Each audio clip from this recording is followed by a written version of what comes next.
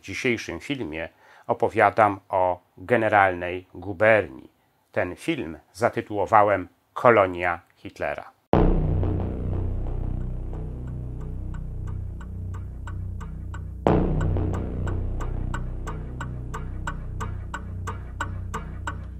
Drugiego września 1939 roku wódz III Rzeszy Adolf Hitler wydał dekret powołujący do życia generalną gubernię.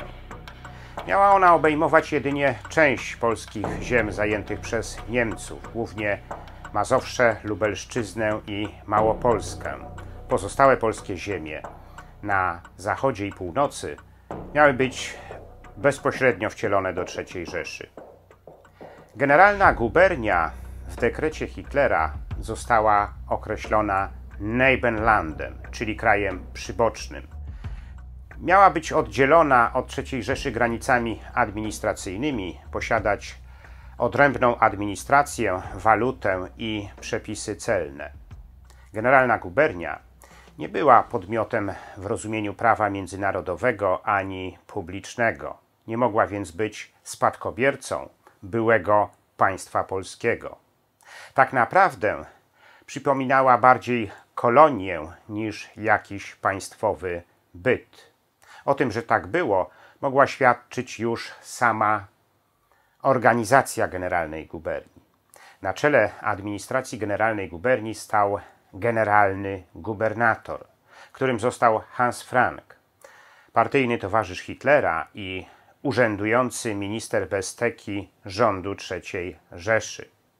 Generalnemu gubernatorowi podlegali gubernatorzy dystryktów, tym z kolei podlegali naczelnicy powiatów.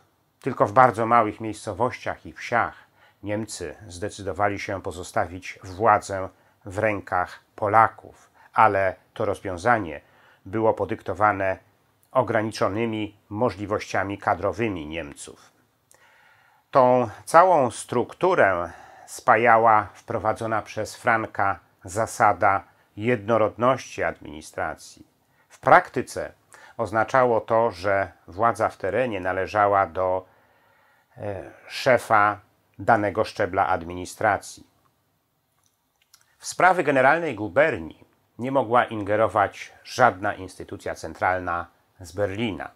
Hans Frank ustawicznie podkreślał, że wszystko na terenie generalnej guberni zależy od niego, wszyscy mu podlegają, a on sam odpowiada jedynie przed Hitlerem. Już sama ta konstrukcja organizacyjna mogła zachęcać niemieckich urzędników do popełniania nadużyć. Ci zresztą czuli się od początku w generalnej guberni prawdziwą rasą panów i miejscową ludność traktowali jak pod ludzi. Mogli też zaspokajać swoje żądze. Dietrich Troszkę, który otrzymał urzędniczą posadę w Rzeszowie, w liście do żony pisał, że praca w administracji generalnej guberni daje nadzwyczajne możliwości. Owe możliwości, w których troszkę pisał w liście do żony, to nic innego jak pospolite kradzieże, jakich on i jego koledzy dopuszczali się na co dzień. Ale to nie mogło dziwić. Pospolitych kradzieży dopuszczał się sam generalny gubernator. Hans Frank i jego żona kradli nie tylko dzieła sztuki, dywany, ale nawet spożywcze przetwory. Ale niemieccy urzędnicy w generalnej guberni nie tylko dopuszczali się pospolitych kradzieży, dopuszczali się dziesiątek innych przestępstw, w tym tych najbardziej ohydnych. Friedrich von Balusek, naczelnik powiatu tomaszowskiego, a potem jędrzejowskiego, wykorzystywał swoje stanowisko do seksualnego molestowania dzieci. Jego ofiarą padło co najmniej kilkaset polskich dzieci. Takich przestępstw wśród niemieckich urzędników w generalnej guberni było znacznie więcej. Zresztą trafiali do niej ludzie coraz gorszego autoramentu, niekiedy z kryminalną przeszłością. To właśnie między innymi to sprawiło, że w samej III Rzeszy do generalnej guberni przylgnęła nazwa gangsterski Gał, czyli gangsterska dzielnica. Z funkcjonowaniem administracji w generalnej guberni bezpośrednio była związana jej sytuacja gospodarcza. Już tydzień po tym, jak Adolf Hitler wydał dekret o powołaniu generalnej guberni, Hans Frank wydał swój własny dekret, w którym starał się zdefiniować zadania gospodarcze, jakie trzeba zrealizować na terenie generalnej guberni. Frank, prezentując ten dekret, mówił wprost, że ma być ona kolonią niemiecką, a Polacy mają być niewolnikami wielkoświatowej niemieckiej Rzeszy. W wydanym przez Franka dekrecie jednym z najważniejszych zadań było przejęcie wszelkich znajdujących się na terenie generalnej guberni surowców, maszyn i wszystkiego, co mogłoby być przydatne gospodarce niemieckiej i wyekspediowanie tego do III Rzeszy. Miały być również wyekspediowane do III Rzeszy fabryki znajdujące się na terenie generalnej guberni. I aparat Franka zabrał się za realizację tego zadania. Do Niemiec zaczęły płynąć transporty z surowcami, maszynami i wszelkim mieniem ruchomym. Nie udało się tylko przetransportować fabryk, bo to przekraczało możliwości techniczne Niemców. Hans Frank, podsumowując w marcu 1940 roku efekty tych działań, stwierdził, że generalna gubernia jest już pustym organizmem gospodarczym. W przypadku fabryk, które znajdowały się na terenie generalnej guberni, Niemcy postanowili zastosować inne rozwiązanie. Otóż postanowili powierzyć ich zarządzanie niemieckim przedsiębiorcom. Władze generalnej guberni zachęcały ich do przyjazdu i podjęcia się tego zadania. Jednym z tych, który skorzystał z tej okazji, był Hugo Schneider, właściciel firmy Hasak z Lipska, który przyjechał do Radomia. Średniej wielkości firma Schneidera w ciągu zaledwie dwóch lat działalności w generalnej guberni stała się kluczowym producentem sprzętu i uzbrojenia dla niemieckiej armii. Ale to było możliwe dzięki temu, że Schneider przejmował kolejne fabryki i zatrudniał w nich najtańszą siłę roboczą, jaką mieli stanowić Żydzi. Podobnie wielki sukces osiągnął Oskar Schindler, niemiecki przedsiębiorca i agent z kraju Sudetów, który przyjechał do Krakowa. Ale niemieccy przedsiębiorcy przyjeżdżali do generalnej guberni nie tylko po to, żeby przejmować miejscowe fabryki, przyjeżdżali również po to, aby przejmować majątki Polaków. Umożliwiał im to dekret Hansa Franka z 24 stycznia 1940 roku, który mówił, że wymaga tego interes III Rzeszy. Jednym z beneficjentów tych majątków był Siegfried Kepper, weteran partii nazistowskiej z Prus Wschodnich i rolnik. Wprawdzie Kepper nie osiągnął takiego sukcesu jak Schneider i Schindler, ale bez najmniejszych problemów przejął jeden z arystokratycznych majątków w rejonie Krakowa. Odrębnym zadaniem gospodarczym na terenie generalnej guberni była aryzacja żydowskiego mienia. Hans Frank już na początku swojego urzędowania mówił bez ogródek, że Żydzi muszą zniknąć z gospodarki. W ciągu zaledwie pierwszych dwóch lat okupacji Niemcy przejęli w generalnej guberni prawie 100 tysięcy żydowskich przedsiębiorstw, głównie z handlu, z sektora handlu detalicznego.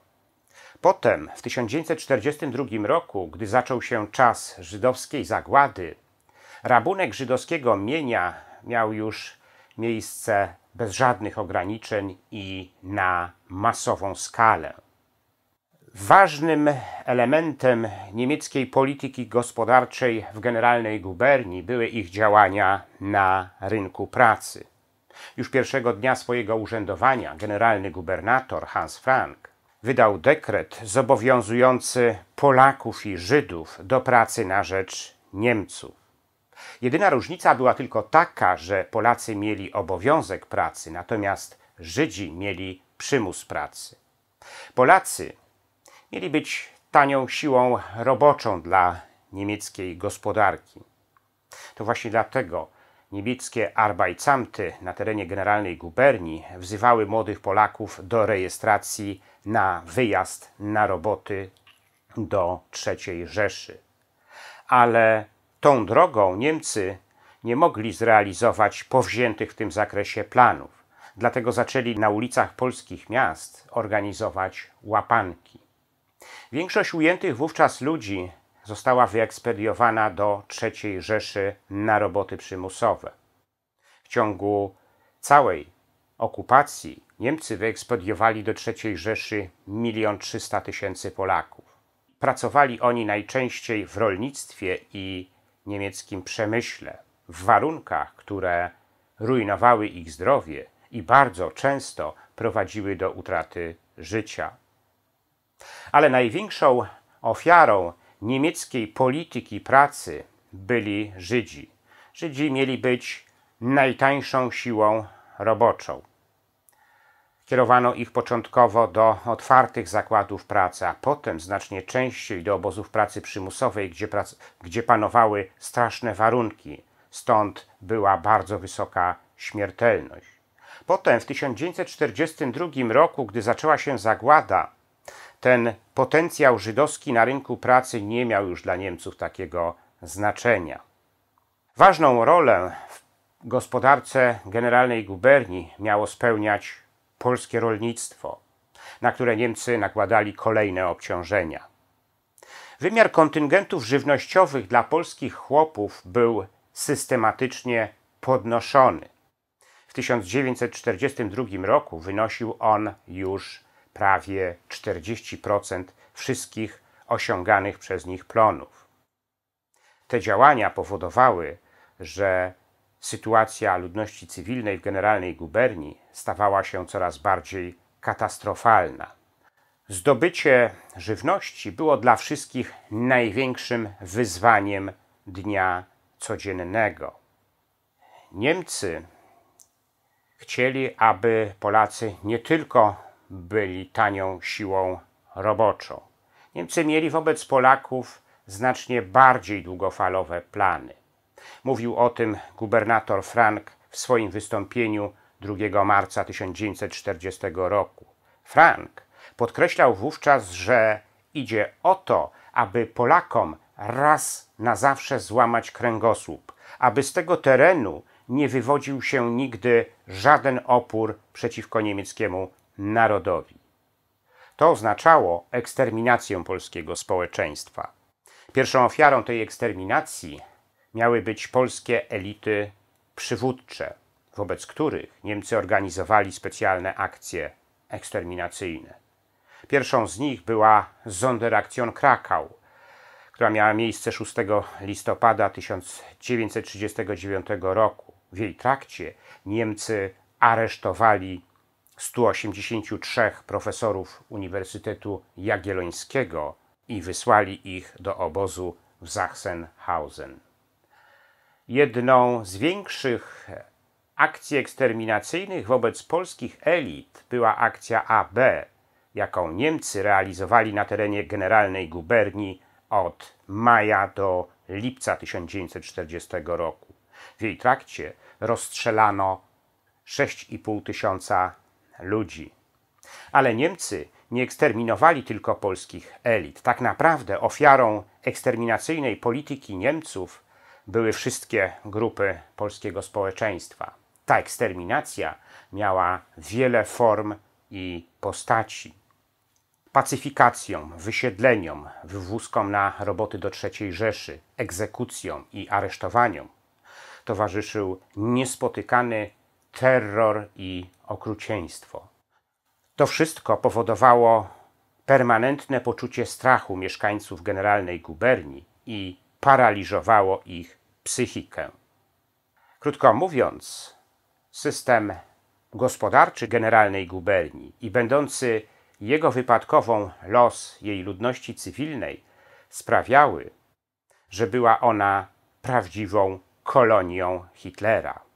Ale oprócz tego, że była kolonią Hitlera, stała się też największym cmentarzyskiem Europy, bo Niemcy zlokalizowali na terenie generalnej guberni największą część swojego przemysłu zagłady. Przemysłu, który mordował Polaków, Żydów, Cyganów, Rosjan i przedstawicieli wielu innych narodowości.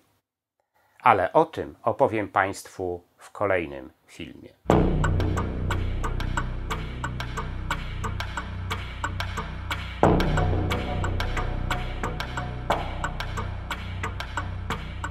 W następnym filmie za tydzień opowiem Państwu o polskich zdrajcach w czasie niemieckiej okupacji. Ten film zatytułowałem Zdrajcy okupowanej Polski. Gorąco zapraszam do oglądania.